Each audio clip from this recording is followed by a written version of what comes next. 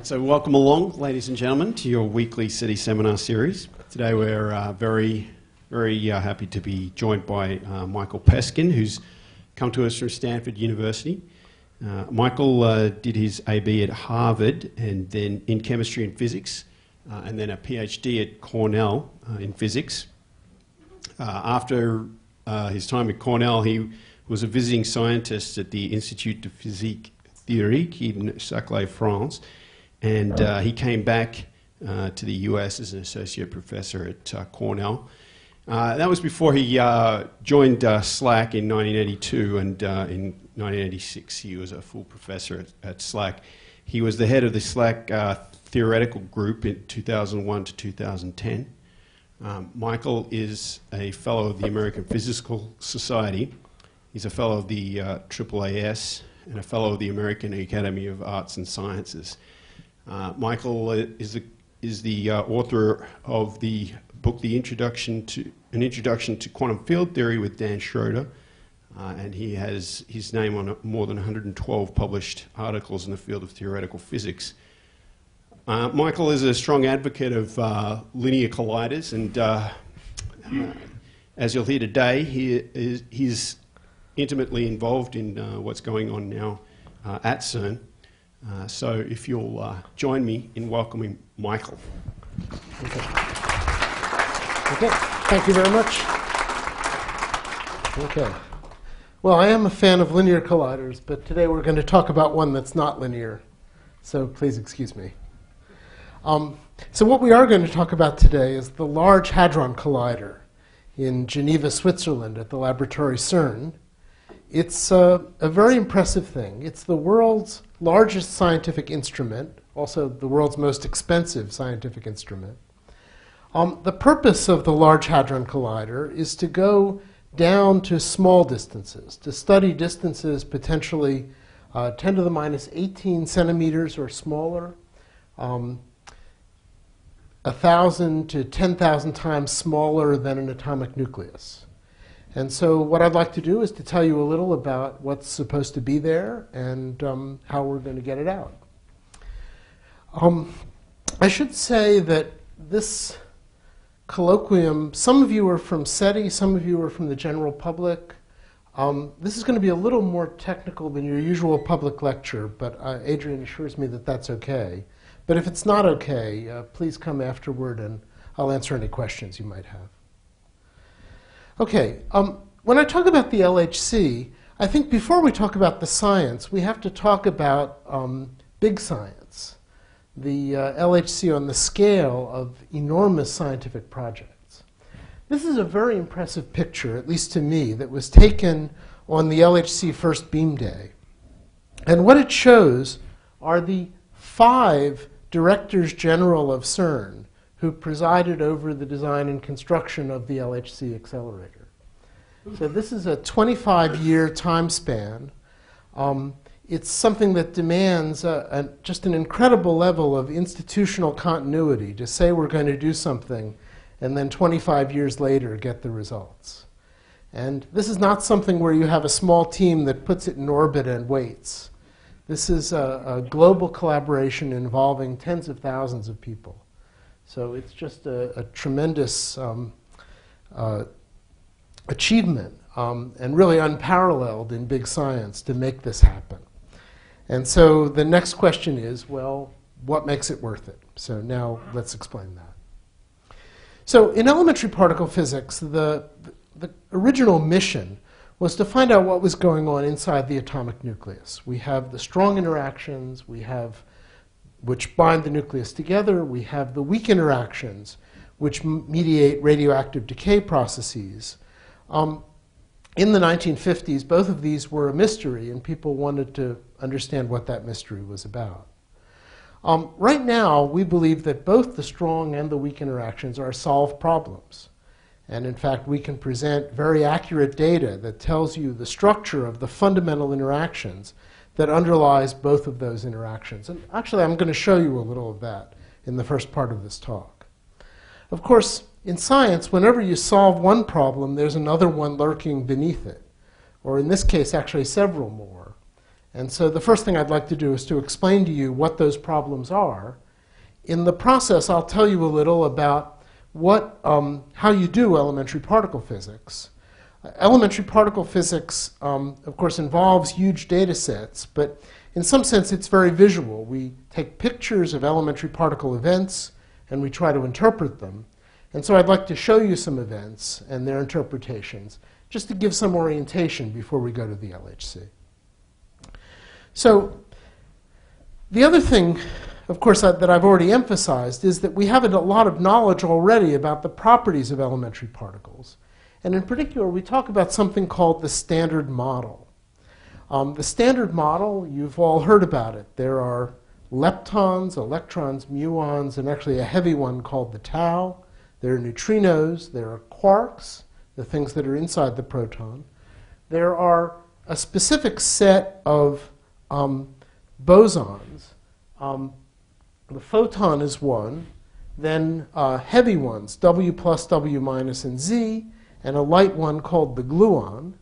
These all obey, we believe, very similar equations of motion, and these are the things that act to produce the basic forces of subnuclear physics electromagnetism, the weak interactions, and the strong interaction. Um, that theory was made by many people, but in particular by the three people who were shown on this slide Sheldon Glashow, Abdus Salam, and Steven Weinberg. And on this slide, they're looking very smug. And um, there's a good reason for that because they're about to get the Nobel Prize in Physics in 1979 for putting forward the correct theory of the weak interactions. Now, Salam, unfortunately, is no longer with us, but I've talked to Glashow and Weinberg recently, and frankly, they're still looking very smug. Because in the intervening 30 years, we haven't been able to overturn this theory and find out what's beneath it. We've done increasingly precise experiments, and this theory seems to hold up extremely well.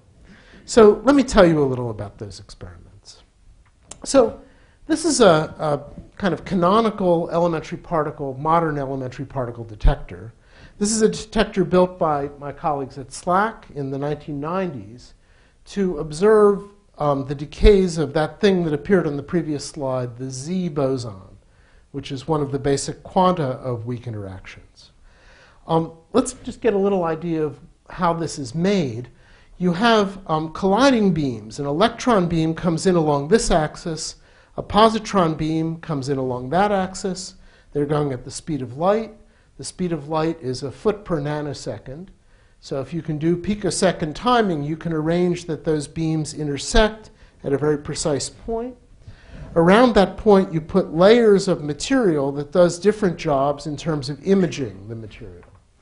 So in the middle, there's, you see a very small red thing that I'll tell you about a little later. Around that, a chamber filled with gas that basically makes the images of the tracks of charged particles. Around that, a device called a calorimeter, which um, basically totally absorbs gamma rays and other electromagnetically interacting things, electrons, for example, and gives you their energy. And outside of that, in yellow, uh, what's called a hadron calorimeter, which does the same thing for nuclear particles, pions, kaons, protons. Um, the only things that get through the whole thing are muons, the extremely penetrating particles that are like heavy versions of the electron. And so by putting all of that together, you get a more or less complete picture of what happened in that event.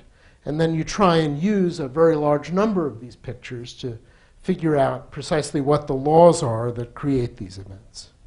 Um, by the way, um, that's a person, or over here. So this thing is, sits in a four-story deep pit on the site at SLAC. Um, there are similar ones that were built at, at CERN in Geneva at the same time. Here's a, a typical picture that's taken by that device. So what you see are um, the tracks of charged particles. um, this thing is immersed in a magnetic field that would cause those particles to bend. So, to the extent that the tracks are very straight, it means that it's a very high energy particle. Then, this, these histograms here give you the signal from the electromagnetic calorimeter.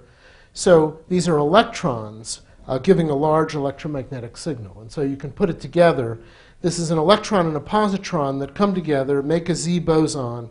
It decays back to an electron and a positron and then you've measured the trajectories of the things that go out very precisely. Um, this is, there's another splash of energy here. Maybe one of them radiated a photon on the way out. Here is the heavy of, heaviest of the three leptons, the so-called tau lepton. Um, the picture looks very similar. A very straight track. You can see these tracks are bending here. So they're at lower momentum. Uh, on the one hand, a tau that decays to uh, probably an electron and some neutrinos going in this direction. On the other side, a tau decaying to three pions, which are making signals both in the electromagnetic and the hadron calorimeter. This one track against three track topology is very characteristic of taus. And so it's one of the mnemonics for finding the heavy lepton in a big sample of more ordinary leptons. The thing I didn't show you yet is what quarks look like. In these experiments, you capture the Z boson, you let it decay. Some of the time, the Z boson will decay to a quark and an antiquark. So, quarks, um, we've never seen them in isolation. They're always bound up in protons, neutrons, pions, some kind of strongly interacting particle. So you might wonder what a z decay to a quark and an antiquark would look like. And a typical one is shown on the next slide. Um, it's interesting that there are two collimated bundles of tracks, one over here and one over here. And I'll show you some evidence in a moment that the directions of those bundles represent the directions of the original quarks the, the interpretation is that as the quark zooms out away, once it's produced, it then is a radiator. It radiates these things called gluons, which are the, the particles that create the force that bind the quarks together. The gluons radiate more gluons. Eventually, everything turns into a very large number of quark and antiquark pairs. Those guys pair up and they make pi mesons. That's the lowest energy state of a quark and an antiquark. And then eventually what you get is a stream of pi mesons. The original process that produced the quark gave the quark a very large momentum. The radiation processes all involve small changes in momentum. So something going along will split into two things that are roughly going in the same direction, and so on. And so what you get is a very large number of particles but all going in the same direction and basically dividing up the original impulse that you gave to that quark. Um, and you see in, in these experiments a very large number of events that look like that. Um, one very interesting thing is that you can ask uh, what is the systematics for the direction of these um, impulses. Let me now give these things their, the name that we call them in particle physics. We call these jets. So when you see a jet, something that looks like that, that's a quark or a gluon that was spit out of a very energetic elementary particle reaction. If you, uh, well, what can I say? Open up my textbook and you ask, what is the angular distribution of quarks that are produced in the decay of a Z boson in the simplest approximation? Um, it's a very simple mathematical function, 1 plus cosine squared theta, a function that um, looks like this if you measure the orientations of those jets with respect to the beam axis, you find 1 plus cosine squared theta. So, in fact, however complicated is the process that makes the jets, if you interpret them as the way you visualize quarks, you get more or less the right prediction for how they're lined up with respect to the beam. Every once in a while, you see an event that looks like this so this is now an event with three jets one, two, three. This one over here is probably a gluon that was radiated from one of the quarks at a very early stage. And in fact, if you make that interpretation, you can ask what's the angular and energy distribution of gluons? It turns out to be exactly the same as the angular and energy distribution of photons that would be created if you made a, an electron positron pair. Those things would radiate photons as they go out. That's one of the pieces of evidence that the gluon is a particle of spin 1 with polarization like the photon, obeying equations very similar to Maxwell's equations. If you study these processes in more detail, you come more and more strongly to that conclusion. Um, there's one more thing, kind of event I wanted to show you, and that's this one. This is, well, now you would say, obviously, a two jet event where the Z is decaying to two quarks, one of which made this jet, the other one made that jet. But there's an extra feature to this event, which is given by the red spots in the middle. So, right around the beam axis, just uh, really maybe 10 centimeters away from the beam axis, there's a can that holds little CCD chips. And those chips are such that if a charged particle passes through one pixel, it'll deposit some ionization in that pixel. So in this way, you can actually make a three-dimensional image of the tracks, a very precise one, as they emerge from the elementary particle interaction.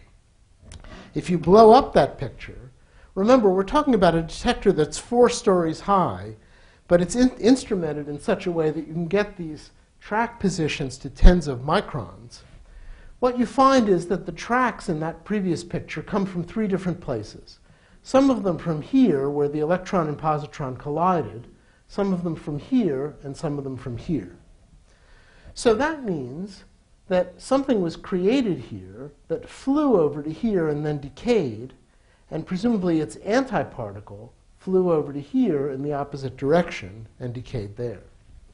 There's a known particle that does that. It's called the B meson, the analog of the pion, containing the heaviest um, well, the next heaviest kind of quark called the bottom quark. A B meson has a lifetime of one and a half picoseconds. But again, at the speed of light, one and a half picoseconds is a whole millimeter. And if you have Einstein time dilation, it'll live longer.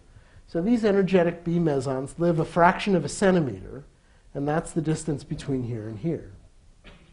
So by identifying these what we call secondary vertices, one can identify specific types of quarks, not just any quark, but some specific quark appeared in that event. And so now I've told you how to diagnose all these things the presence of electrons, muons, the heavy lepton tau, ordinary quarks, and heavy quarks.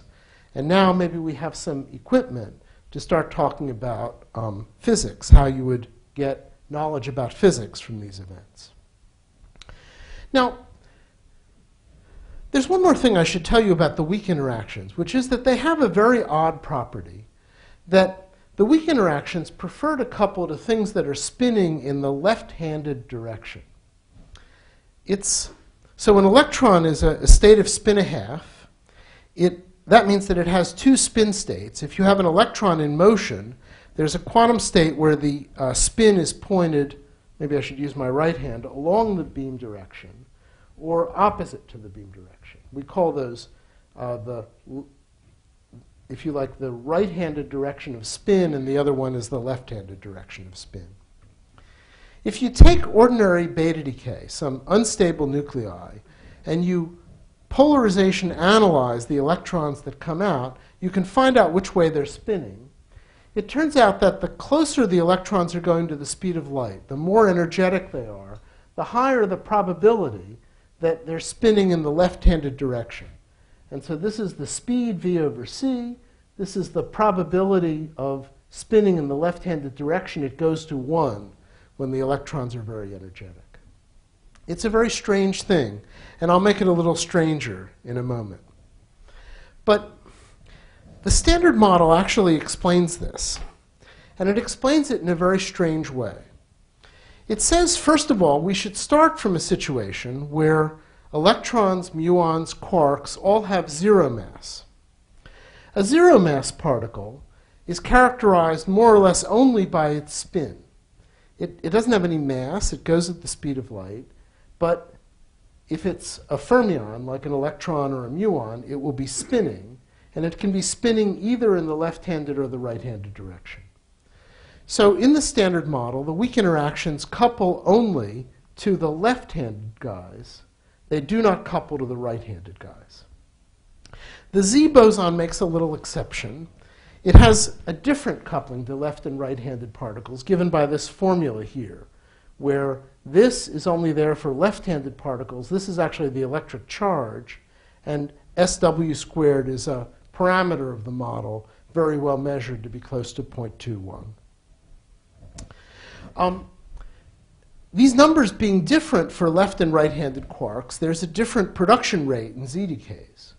And so the standard model makes this interesting prediction that for leptons, about 15% more of the time they're spinning left handed. For quarks, it's almost maximal, uh, 94% for bottom type quarks. And it turns out that these predictions can be tested rather precisely. Um, first of all, if you take electrons and positrons and you annihilate them and make a Z, um, that uh, causes a resonance in the cross section. The cross section actually goes up by about a factor of a thousand. The width of that resonance, by the Heisenberg uncertainty principle between energy and time, gives you the lifetime of the Z, or the strength of its couplings. It's equal to the sums of the squares of all of these numbers times some known factor. Uh, what this slide shows is the agreement of that prediction with experimental data. And as you can see from the slide, it's quite spectacular. The black line is the prediction of the standard model. The only free parameter in that calculation is the position of the resonance, the mc squared of the Z boson. The points show the cross-section measurement. Uh, people who are very close to the screen can see that there are error bars on those points. And uh, all in all, you have a fraction of a percent agreement between theory and experiment. But even more impressive than that one can actually have measurements that are sensitive to the spin direction of various particles that come out of the Z. Uh, one way to do that is with the heavy lepton. The heavy lepton decays to a neutrino. Neutrinos are spinning particles. And by looking at the other particles that are left over, neutrinos are basically invisible to these experiments, um, you can actually see patterns that are associated with the spin direction. So a left-handed spinning tau will decay to a slow pion according to this curve. A right-handed spinning tau decays to a fast pion according to this distribution. The black are the measured points, and you can see that there are more slow pions than fast pions, indicating this 15% predominance of left over right.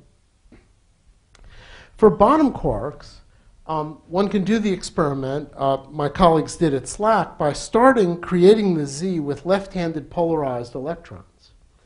If you do that, the left handed bottom quarks go forward, the right handed bottom quarks go backward. If there's an asymmetry forward to backward in these distributions, it means that there is a spin asymmetry in the decay. And as you see, these are by no means symmetrical distributions. Actually, you're sometimes confused about which is the bottom quark and the antiquark, and when you take that out, you verify the prediction of the standard model to high accuracy. So it really does seem to be true that the charge with which the Z couples to electrons, muons, taus, quarks depends on um, which, what kind of a spin that particle has. But this is a, an extremely weird thing because there's another way of thinking that this shouldn't matter at all. That way of thinking is, is shown on this slide. If I have a spinning particle, and I insist that my theory is invariant under relativity, that means I can look at that particle in any frame. In this frame, it's a right handed spinning particle. If I ran very fast, I would see it like this. Now it would be at rest, it would still be spinning in the same direction. If I ran even faster, the particle would look like this, and now it's apparently, it's still spinning in that direction, but it's moving this way. So now it's a left handed spinning particle. So what happened? Well, before I said that you had ideally a theory where particles had charges which were associated with their spin. And that's possible if something's moving at the speed of light. But if something has a mass, it's no longer possible, as this argument shows. In fact, the way in the Dirac equation that you give something a mass is that you mix up the massless left and right handed spinning quantum states. So, what we've got is a situation where roughly this guy and this guy have different charges coupling to something that's very much like the photon called the Z boson, but nevertheless they mix with each other. So, whatever selection is given by these charges, or whatever quantum number is supposed to be represented by those charges, it's not a good quantum number in nature. That symmetry is actually broken in nature. And in a similar way, um, by a somewhat more complicated argument, it's forbidden to give mass to the W and Z bosons uh, by the fundamental equations unless you break their basic symmetry. Um, there's a good reason why Maxwell's equations imply that the photon mass is zero, and the photon mass, you know, is really, really zero. Um, the Compton wavelength of the photon is much larger than the radius of Jupiter. Um, for W and Z, the same argument applies. Unless you spontaneously break the symmetry, then you can give them mass. So, how could this happen? Well, oof, let me just skip through this, and I'll, I'll give you this in words. There is a known example where we have something that obeys Maxwell's equations that gets a mass. That happens in the theory of superconductivity. If you have a superconducting material and it becomes superconducting, it pushes out magnetic fields. The mechanism by which it pushes out magnetic fields is that the photon acquires a mass in that material. The ordering caused by the superconducting condensate affects the electric fields in that material, and that effect is exactly to give mass to the photon.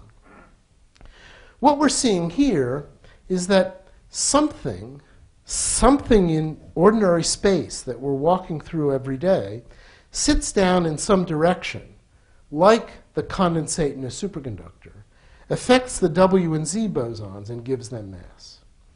We don't know what that is. We have hardly any evidence at all for what that's even made out of. There is one thing that's out there, which is a proposal for doing this. It's, if you like, the simplest possible proposal. And that is that you just invent a field that does this, and you insist that its potential energy is such that it has an asymmetrical minimum. It's not very satisfying, but at least we can go forward with that. And if we could find some evidence for that field, we could try and explore further and find out what's really going on. So that field is called the Higgs field. Um, it, its property is that that field sits down in space, it gets a value. Proportional to that value, we have the mass of the W and Z bosons, and also the mass of all the quarks and leptons. In fact, in the simplest theory, all particles couple to the, this Higgs field in proportion to their mass. We know how big Z is because the theory gives us a relation between that number v, the mass of the W boson, which is known to be 80 GeV, roughly 80 times the proton mass, and the coupling constant of the W in the weak interactions, which we've measured very precisely. So we know that the number here is 250 GeV. So something in the universe has a symmetry breaking, a potential energy with a mass scale of 250 GeV that's breaking the fundamental symmetry of the weak interactions and producing mass for all particles. We don't know what it is, but if we could maybe go to 250 GeV, then we could find out. And so that's, if you like, the first goal of the LHC program. To find out this missing piece of the theory of weak interactions, what is that about? Uh, maybe we can find out if we could go to those energies and see what particles exist there. And certainly the first part of that would be to find the quantum excitation of this Higgs field, which is the thing called the Higgs boson. So that's one side of the story. There is another side of the story, um, which has to do with the question of cosmic dark matter. And I guess for this colloquium, you've probably had many colloquia about dark matter. But let me just give a few facts that connect it to the story. So, you all know that dark matter is out there. Um, it's visible in a very large number of ways in astrophysics. Um, the story began in the 1930s when this fellow here, Fritz Zwicky, studied this object, the Coma cluster of galaxies. He estimated the forces within the cluster by looking at the relative Doppler shifts of galaxies. He then um, used that to estimate the potential energy, or the, rather the gravitational energy that was holding the thing together. If you have gravitational energy, you can divide by Newton's constant and find out the mass. You can then count the stars, and you can see how that mass tallies with the stars. And it turns out that there was a factor of 400 discrepancy, that the stars give only 1 over 400 of the mass that was apparently holding this cluster of galaxy together. So since then, there have been, oh, maybe I should say, that 1 over 400 is a little of an exaggeration because, as I guess those of you in here who, who are astronomers know, most of the mass in a cluster of galaxies is not in the galaxies. When a cluster of galaxies form, galaxies fall in from large distances, and they drag with them, or what falls in with them, is a huge amount of interstellar medium, just hydrogen and helium gas. If you have a large gravitational potential well, those hydrogen and helium atoms are speeding around, colliding with each other, making X rays. If you photograph a cluster with an X ray telescope, like the Chandra telescope, you can visualize that. And so here is a picture of a rich cluster of galaxies in the visible, in the optical, and then here is the same cluster of galaxies that Chandra X ray telescope pictured. So there are galaxies, which are a very small fraction of the mass of the cluster. There's gas, which it turns out is 20% roughly of the mass that you need. But then there's still something left over, something very weakly interacting, something that does not shine light.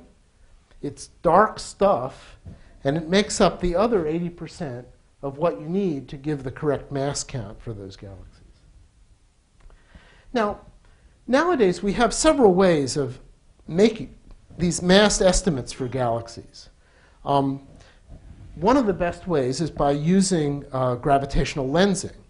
You have a, here a foreground galaxy. Um, this is some work done by Tony Tyson and his collaborators at UC Davis. Um, you see a blue thing over here. And this is a, actually a very beautiful and unusual picture.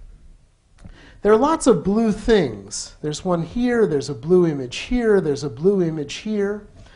Um, what this group of people suggested is that those blue objects are actually all the same galaxy. There's some galaxy which is behind this at a sufficiently large redshift that Lyman alpha is redshifted into the blue. That's why it's seen as blue. The light is coming through a mass distribution, and like a water droplet, the mass distribution bends the light and, in fact, forms multiple images of that galaxy. And by analyzing a picture like this, you can go back and make not only the total mass of the galaxy, but also the mass distribution. So recently, there have been some objects found which are very unusual from that point of view. Um, here's one of them. Um, here's a cluster of galaxies. And actually, here, there's another cluster of galaxies. If you blow up each of those clusters, you see blue spots and so we can analyze the mass distribution in this whole object by using gravitational lensing. You can also have the Chandra telescope take a picture of this thing. And so on the next slide, what I'll show you is the X-ray image and the inferred mass distribution superposed. So here's what it looks like. Um, the red are the mass contours.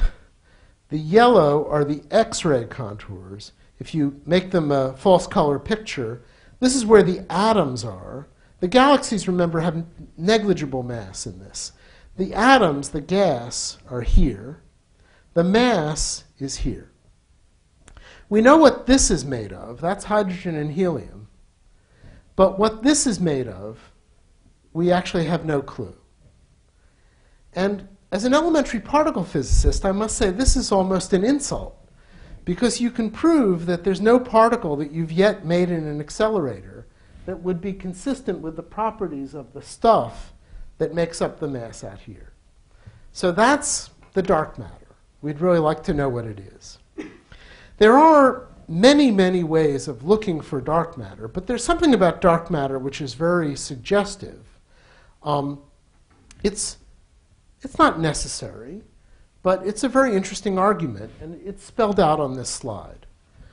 Um, a very natural idea about dark matter is that when the universe, early in the history of the universe, when the universe was hot, um, things could collide. You could make particles of any mass you wanted by colliding quarks and antiquarks, electrons and positrons, photons with other photons.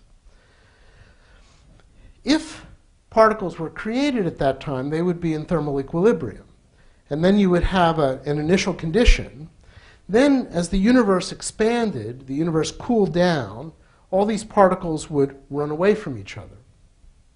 If you had something that was heavy, stable, and weakly interacting, um, something that couldn't annihilate except when it found its antiparticle, that would have the following evolution.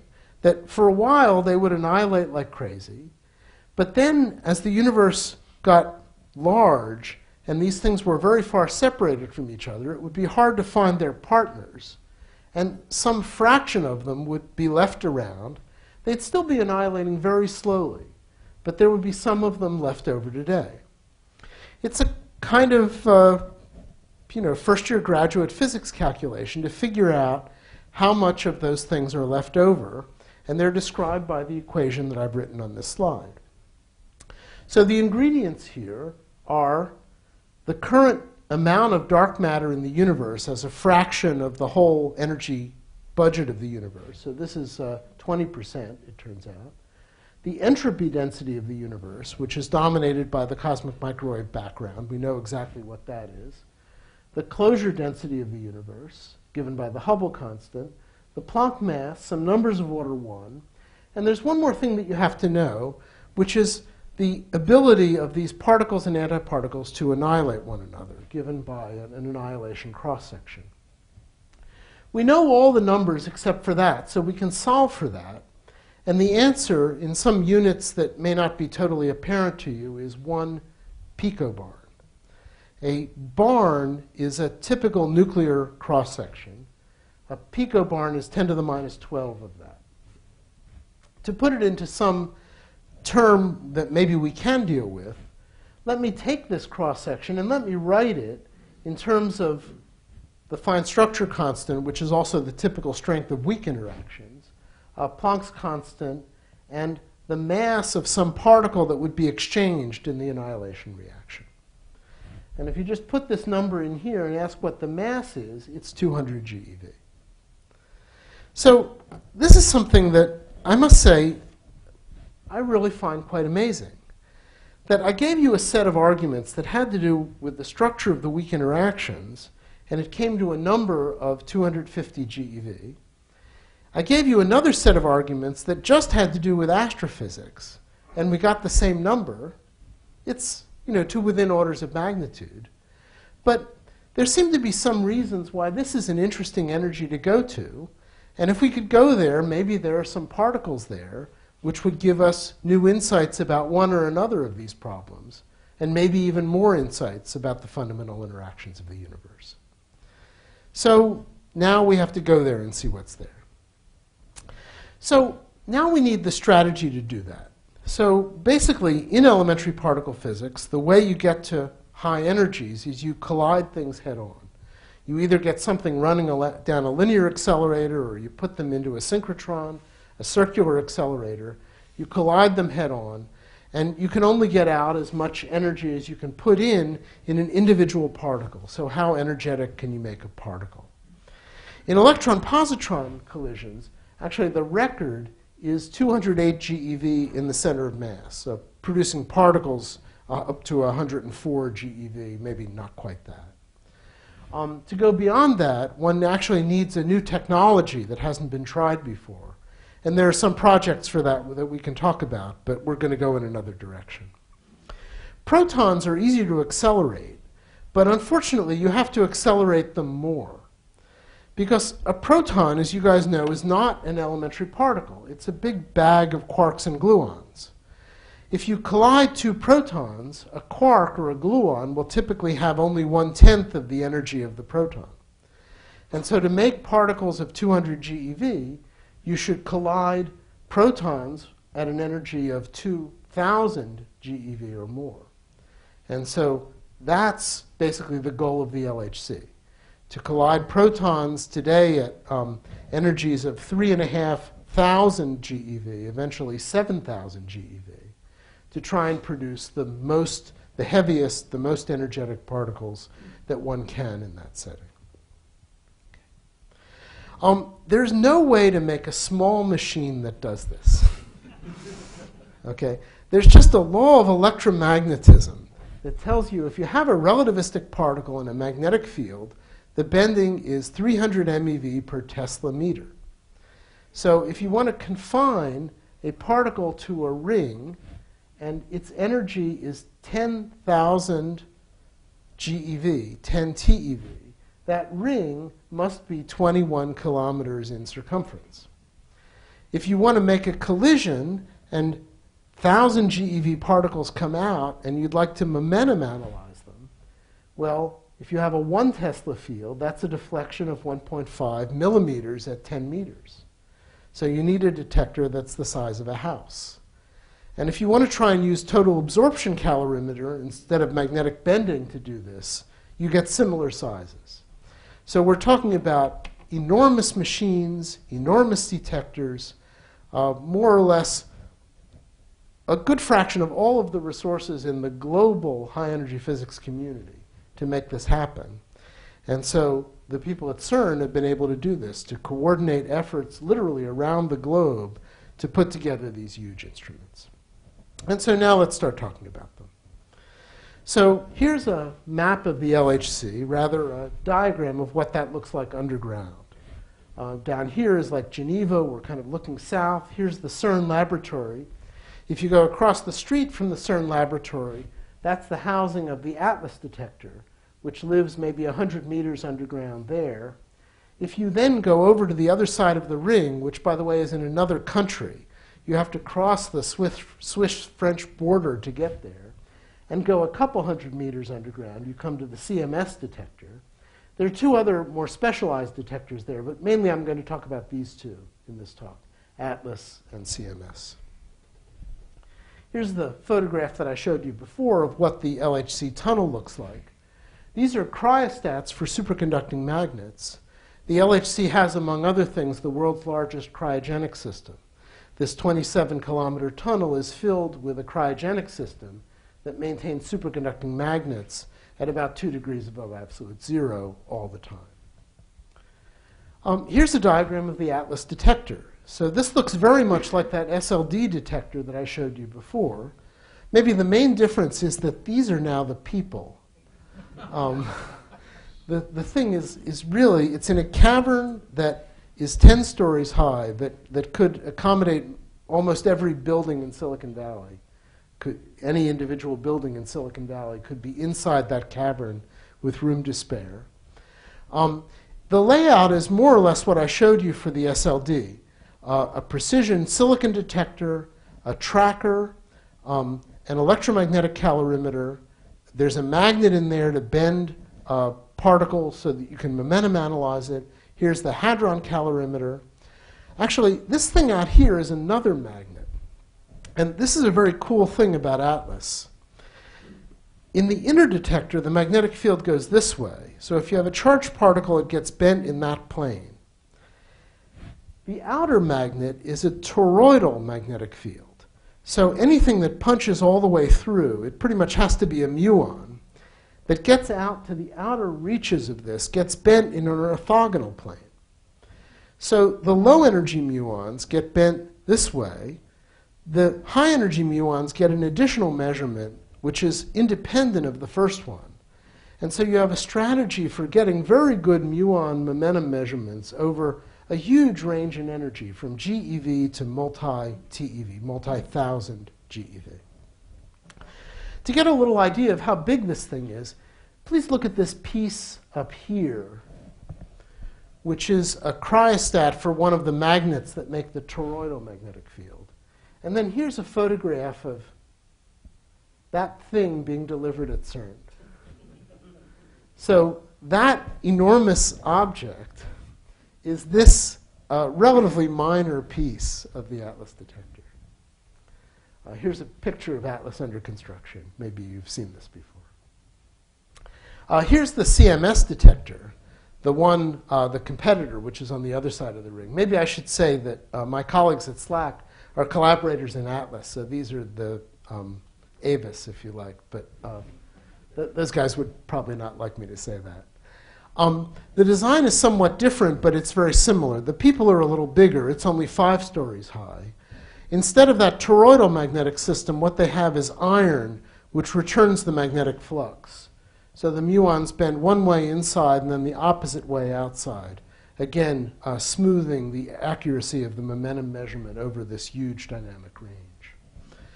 Um, these, this green thing is the electromagnetic calorimeter. It's made out of a stuff called bismuth tungstate. So those are two elements from the bottom of the periodic table. It's a very beautiful crystal, uh, grown in China, I think. It's um, essentially crystals like this, absolutely transparent, looks exactly like glass, and it weighs as much as a lead brick. And what that does is to range out very accurately gamma rays and electrons that come in and provide from the scintillation light a very accurate energy measurement. CMS, as you'll see from the picture, is actually um, made in cylindrical segments. So it was assembled on the surface, and then each of those segments were lowered by crane into the pit and uh, assembled together. When you get it all working, um, here are the kind of pictures that you get. So now you'll recognize these pictures from the first part of the talk. Um, this is a jet. This is another jet. This visualization I'll tell you about in a moment. But then you can start to put together all the elements of this picture to make a physics event. Um, in principle now, um, we can just collect data and look for uh, unusual things. In particular, the things probably that we would most like to look for are things that look like dark matter production. You make something, it decays to a dark matter particle, that would be invisible. Actually, because dark matter particles are individually stable, you have to make them in pairs. So there would be two invisible things, there would be some jets. These would be extremely spectacular events. Here's a, a simulation of one that was done by the CMS group. So we're looking for things that look like this um, two jets, an electron, a muon. Actually, because these people, it's a simulation and these people are very um, kind, they also indicated the dark matter particles, which are, whose labels are shown in green. But in the real experiment, that would just be something that you wouldn't see.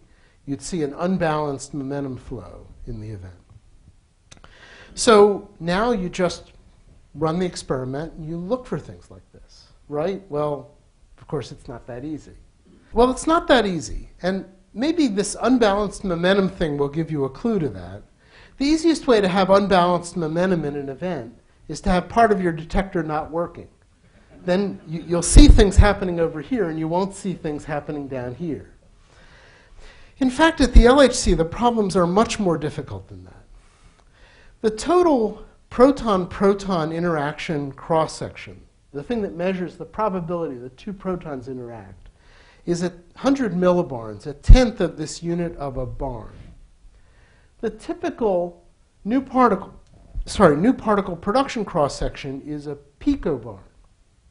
So what that means is that you're looking for things that happen at a rate of 10 to the minus 11 or smaller of the total rate for proton-proton collisions. So in a factor of 100 billion, there's lots of opportunities for error. And you have to be very, very sure that those things are not happening if you're going to claim the discovery of new physics, even uh, to identify physics which is already well understood. So the next thing we have to do is to sort through the various layers of what has to be understood to do these experiments. So I've made a list of them here. We first have to figure out how to look at all the data. So the proton collisions are occurring at the rate of 20 million per second. Um, that has to go off to some farm somewhere, and we have to be able to understand uh, what's in that data, um, even to make, even to do anything with it. Then, most of these events come from ordinary quark and gluon interactions. So we have to peel those off first. Then we have to, maybe by that time you've gotten through the first factor of a million in this 100 billion that you need to understand. Then we need to understand rare quark gluon interactions with large energy deposition or many jets. Identify those and peel them off. Then there are other standard model reactions that give things that look like dark matter, leptons, unbalanced momentum, etc. We should understand those. And then once we've understood everything in this list, we have to see whether anything is left over. And so this is a program that, um, with a, maybe I should say a huge amount of work, you can actually carry out. And here are some scenes from it. First of all, the data flow. Atlas and CMS are seeing 20 million proton-proton bunch collisions per second. Um, you would have the capability of recording roughly 100 events per second to permanent storage where you can analyze it. You'd better pick the right 100, otherwise it's as if you didn't do the experiment. So what is done is the data is sent to a computer farm, to a pipeline, um, you analyze pieces of these events in turn. You have, in Atlas, three stages to this computer system, which is called the trigger. At each stage, you reject 99 events in 100 of what's coming through, and you throw away everything else. And then you do more sophisticated processing. You throw away another 99 and 100. Then more sophisticated processing, processing you throw away another 99 and 100. Now you're down to the level where you can store the data. When you store 100 events per second, you're building a database which is 10 petabytes a year. So that's basically what sets the limit. Um, someone told me that if you were to record every LHC event on CDs, you would need more than the world production of CDs to do it. So the levels work like this. The first level is actually um, they're uh, basically hard-coded chips, and they have to operate in 100 microseconds. They look for large energy deposition and muons. The next level is programmable, and you can look for things like missing energy, heavy quarks, tau leptons.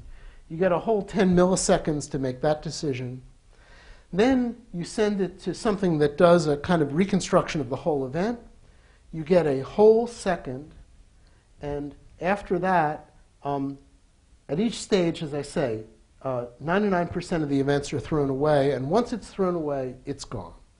So enormous effort goes into making sure that these decisions not only are done correctly, but they're done in some redundant way so that you can calibrate what signals you're missing at every stage. Um, here's just a little picture of the CMS level one trigger in action. Um, next, we have to get rid of the events that are ordinary the events that look like just a quark hitting a quark or a quark hitting a gluon. And a very nice way to do this is something called the Lego plot. So let's imagine an event with tracks coming out of it like that. And I can view this in the following way. I have my coordinate theta, this angle, phi, the azimuthal angle. Think about the tracks coming out along rays. Take the event and unroll it. So I have a plane of phi and theta. And then what I want to plot is for each track or energy deposition, I'll plot a tower given by the momentum in the direction transverse to the beam direction. So if something is going along the beam direction, no matter how fast it's going, it'll be a short tower. That basically would be what would happen if two protons just disrupted each other and all the quarks and gluons came spilling out with no large momentum transfer. If I have a hard collision between a quark and a quark, and they go out at large angles, I give it a large transverse momentum, and then that would appear as a large tower. So here are some sample events, actually not from the LHC, but from Fermilab, that illustrate this point. Here's event one, here's event two. It's hard to tell the difference. But event one, if you make the Lego plot, it looks like this. It's basically noise. This number here is 10 GeV. These towers are only a few GeV of transverse momentum. This is what it looks like when nothing interesting happens, when the bags are just disrupted and everything goes flying forward. The second event, if you make the same plot, it looks like this. And this is now what a jet looks like on the Lego plot a large concentration of mainly pions that are collimated in a certain direction, the whole thing having a very large transverse momentum.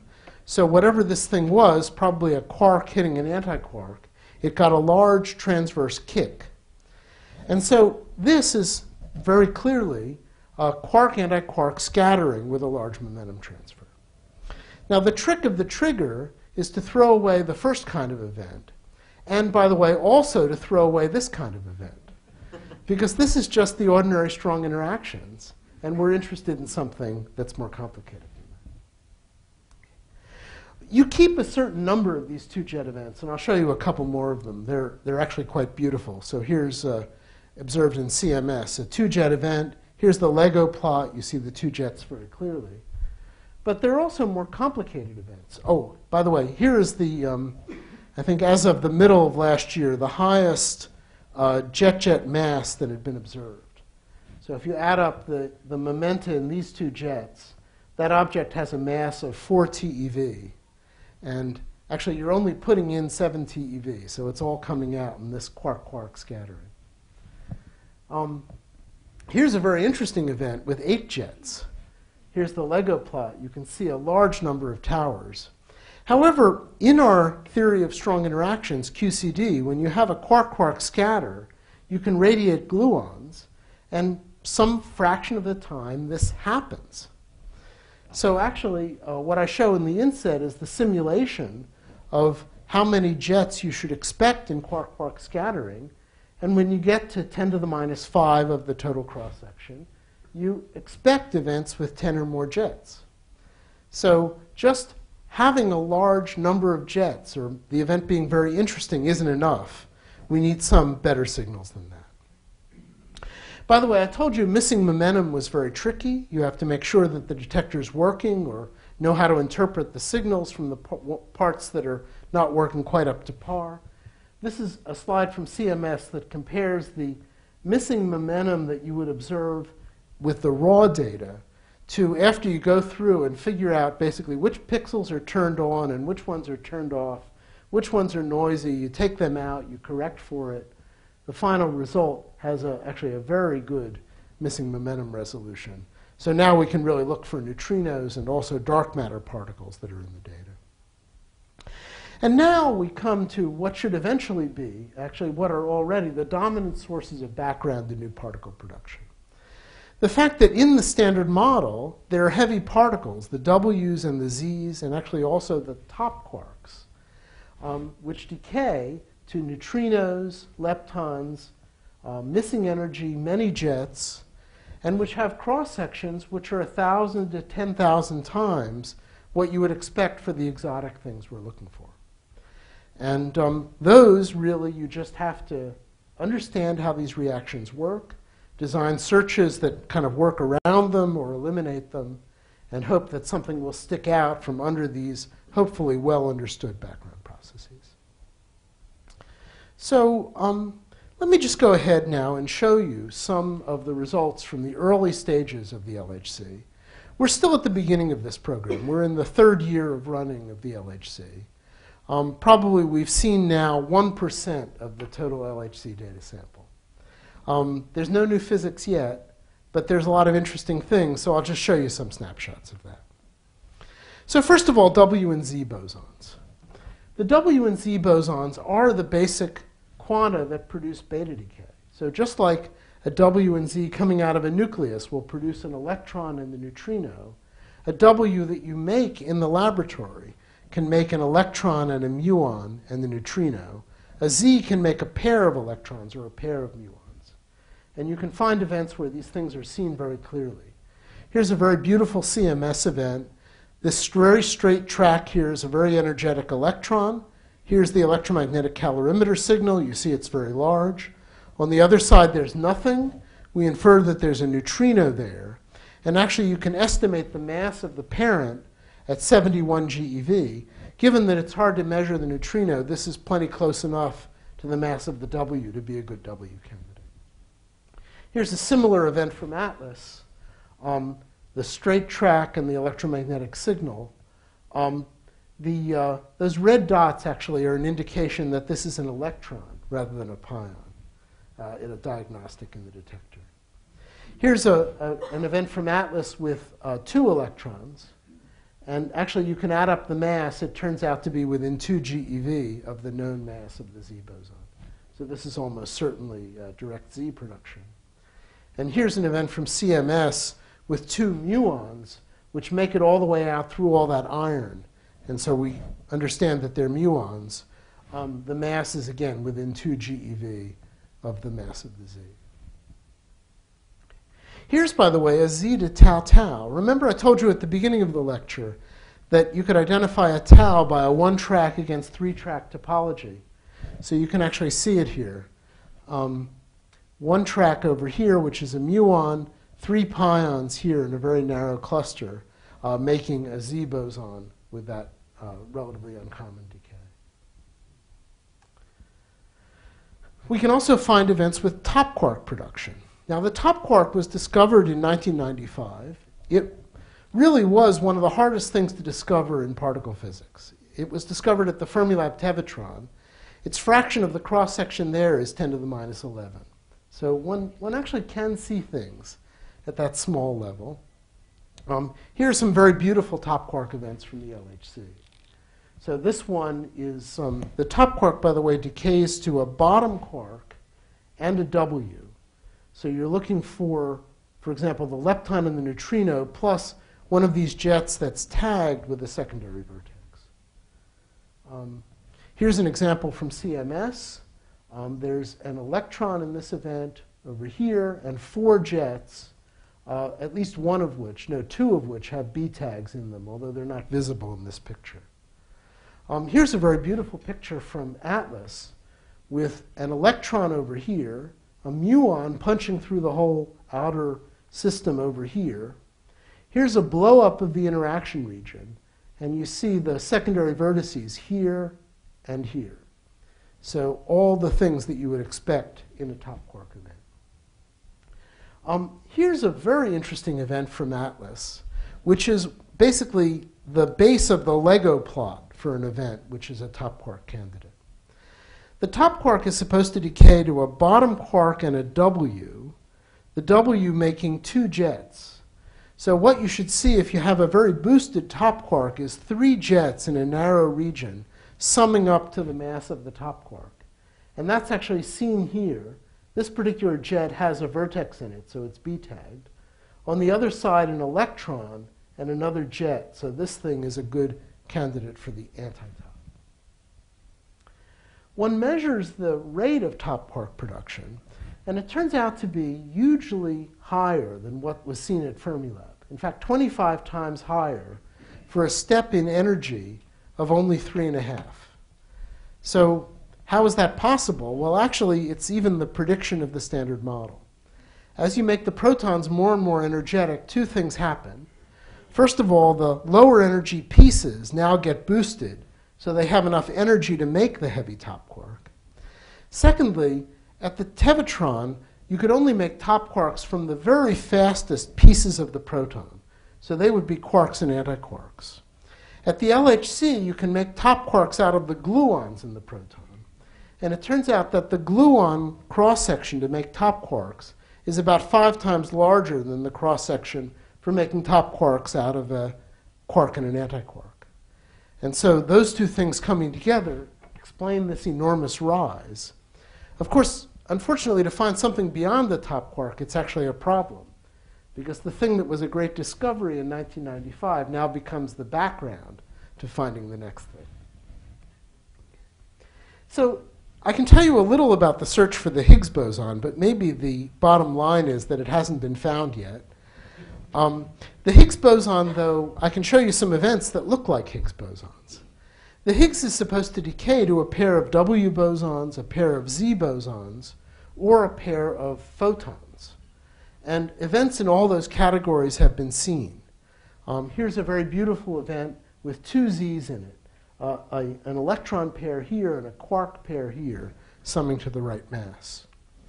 Um, here's another ZZ event. One of the Z's is invisible, but you can infer its existence from the unbalanced nature of the event. Um, here is a very beautiful event where you have a pair of muons and then a pair of electrons, each of which would make a Z. The total mass would be, um, you can actually, you've seen all the particles, you can compute it, 124 GeV.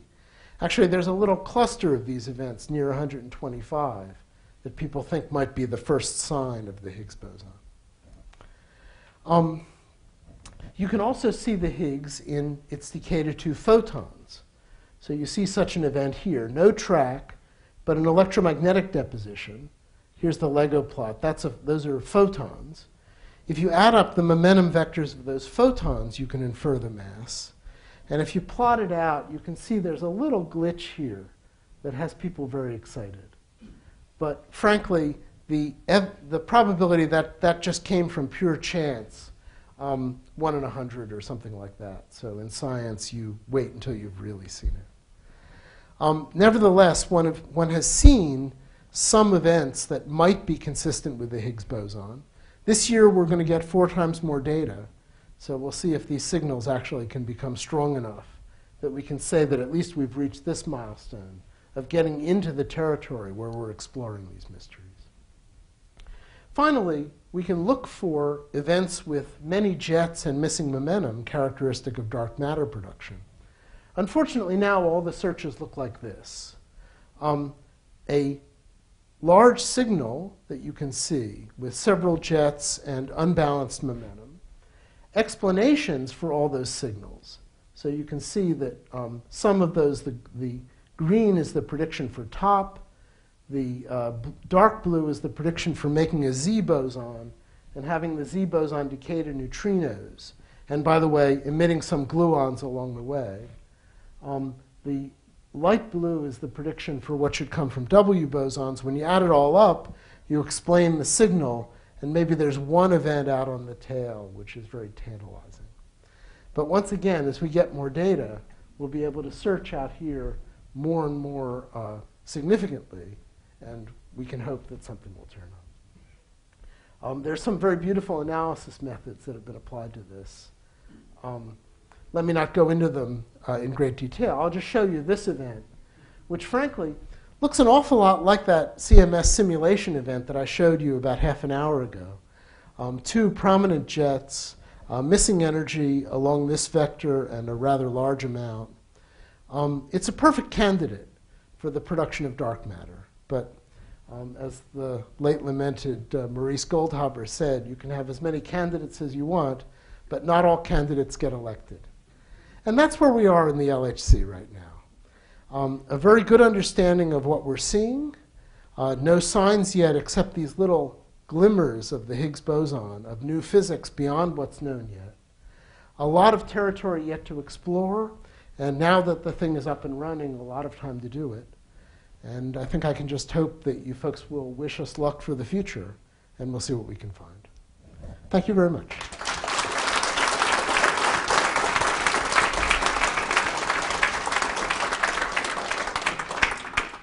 Um, Michael, if I can kick off the questions, I'm, I'm struck by how much uh, the search for the, uh, the Higgs is like the search for the SETI signal. Uh, is, it, is it is it true that the, the way to investigate these events that you've shown us is to look for more in, in, in upcoming data? How, how are you going to eventually reassure yourselves that what you're seeing here is the Higgs boson? Well, let's see. I mean, the Higgs is not. It, it there's one important difference from the SETI signal, which is that we actually know what we're looking for. Um, we're not just looking for an anomaly. Um, the Higgs decays to specific decay channels with, as predicted, specific branching ratios, specific fractions. So, in principle, if it were really there, if, if this were to turn into the real discovery of the Higgs boson, we would see a, a single prominent peak in the two photon distribution. We would see a cluster of events in ZZ around a certain mass. We would also see in um, the W signal a certain um, anomalous large value for the WW cross section in a certain region. Um, this, the Higgs also decays to uh, bottom quarks, although that's harder to see. Eventually, that would be observed as well. And so all these signals would not only be there, but they would all have to be consistent with a single object of the same mass. And so with uh, you know 10 times the data sample that we have now, all of those things in principle should fall into place if the particle's actually there. If it's not there, um, then, well, there's still the mystery that I explained in the first half of the lecture of where the masses of W's, Z's, quarks, and leptons come from. Um, in quantum theory, it all, always comes from a particle. So you have to find that particle. But for the moment, I think um, the idea that it comes from some particle with this particular signature is not unreasonable. And already this year, we should make enormous progress toward finding out whether all those things fall into place. Okay, sir.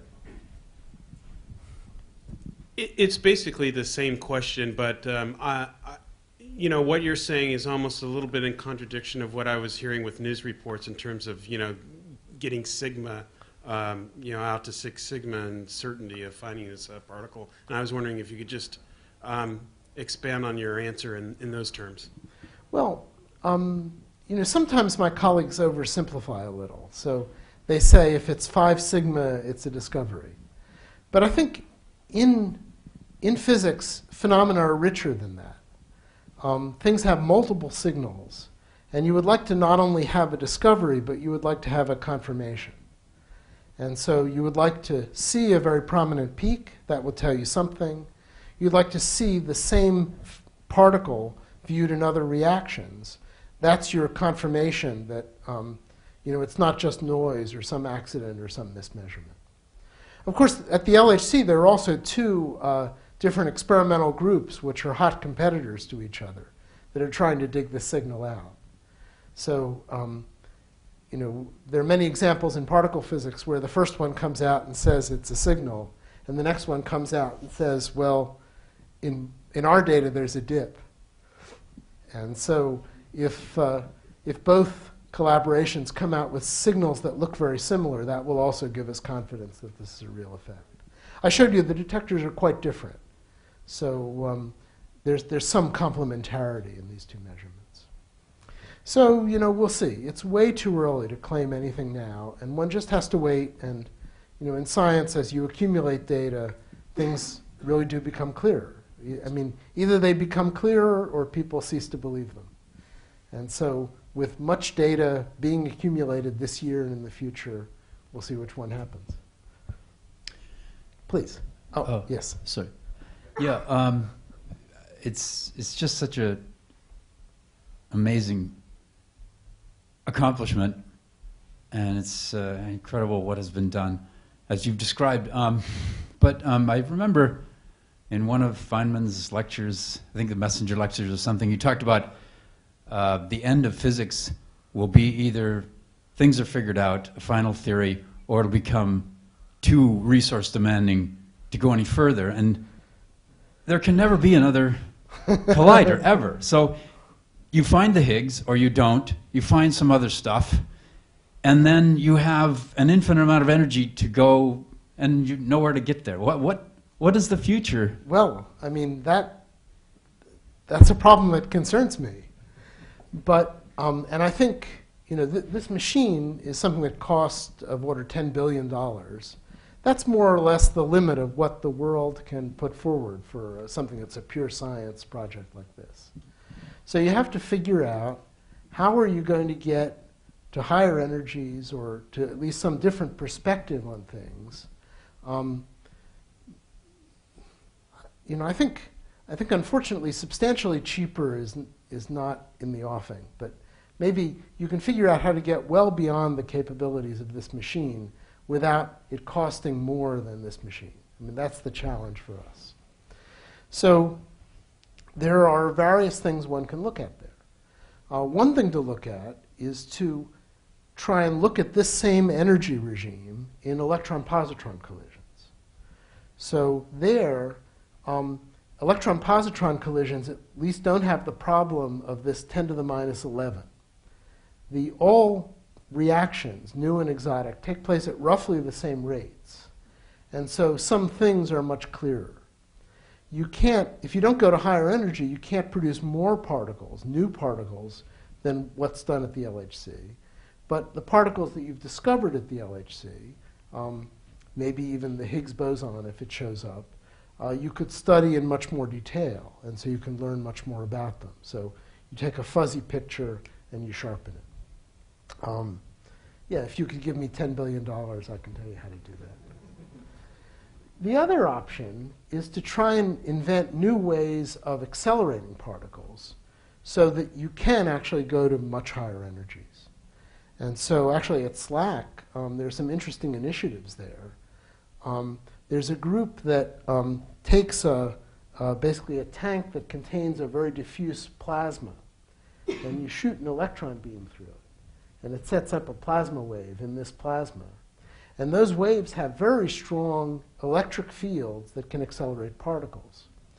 And they've done an experiment. This is a SLAC USC UCLA group where they take a bunch of electrons and they chop off a little piece in the back end. And they send the first part through, and it sets up one of these plasma waves. And the next part goes through, and it surfs on the plasma waves and gains energy. Now, SLAC, you remember, is three, is, uh, three kilometers long, and it gets an energy gain of 50 GeV. This device is one meter long, and it, get, it got an energy gain of 46 GeV. okay? So if you could have, now, that's just one of them, right? In order to get to TeV energies, you need, um, what did I say? 20 of them, working in sequence, and you have to be able to pass beam from one to the other without blowing it up and destroying it. Um, there are other things that you have to study, but we have a research program now to try to see whether you can get from this experiment to something that would actually be an elementary particle accelerator. Actually, there's another group at our place that's playing with um, essentially a, a nanoscale device that you shine a laser into. And um, by reflecting the laser light off the walls, you can make an accelerating field. And that might be another technology to get us to um, you know, tens of GeV per meter accelerators that we can actually afford to go beyond this energy range. Um, it's going to be a long time in the future, but as I've shown you, this thing had to start a long time in the past to be where we are now. And you just have to have a, I guess, a coherent attitude in the community that that's a goal that you have to pursue. And we'll see if we can get there. Okay, please. Dr. Peskin, uh, thanks for a wonderful talk. I had two questions and a bet. Could you pass this forward, please? Uh-oh. Thank you. The first question is uh, To what early universe time does the LHC energies correspond, or are they even in the range? Sorry? Uh, to what early universe time does the LHC energies correspond? Like what's what's Um, oh, yeah? So what? it's about 10 to the minus, um, it, it's about a millionth of a second after the Big Bang. Thank you. But, um, you know, the time after the Big Bang, it's, it's a funny thing. Um, the, at Stanford, we once had a course on cosmology, and there was the early universe cosmology given by Andre Linde, whom you probably know, the, one of the inventors of inflation, inflationary cosmology. And then there was the after the early universe cosmology. And the joke was that Andre was taking everything up to 10 to the minus 20 seconds, and then the other professor was taking everything from there to the present. The second question is, please, does the quark expansion of the protons increase the interaction cross section enough to be significant? Um,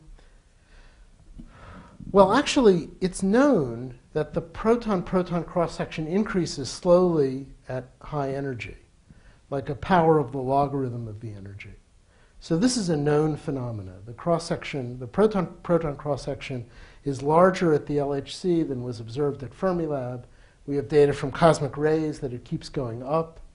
Um, this is under, it's, I won't say it's a completely understood phenomena, but there are very reasonable models that explain it. It's not a big effect. And unfortunately for us, the much more important effect is that if you want to make something that is a very heavy particle, the cross section goes down because basically the thing is smaller. So to, to get all that energy into the small region that you need, the cross section goes down like 1 over the energy squared. So we not only need higher energy, but we also need higher what's called luminosity, brighter and brighter beams that we're squeezing smaller and smaller to collide with one another. So in these uh, electron-positron experiments of the next generation, the beams are going to be uh, a tenth of a micron by a nanometer. And people, people claim that they, that they know how to do that. In fact, we did some experiments at SLAC to prove that you can actually get a beam that small. Okay, well, um, Oh, and um, let's see. I think, I think I'm not going to take your money, but in the theory group we have a bet book. So if you send me an email with the bet, I will write it in the bet book, and if you win, I will pay you off. Okay. Thank you. and if you Google me, you can find my email address. okay, well, um, for for those who are uh, interested in talking one-on-one with Michael, he'll be around for a couple of minutes after this, so uh, I encourage you to uh, to come up and chat to him. Michael, we have a special Oh. Are We Alone? Uh, hopefully, uh, we'll find SETI and Very the, the Higgs boson at the, about the same time. Well, that would be nice. Yeah. Okay. Please join me in thanking Mike for his great Thank you. talk.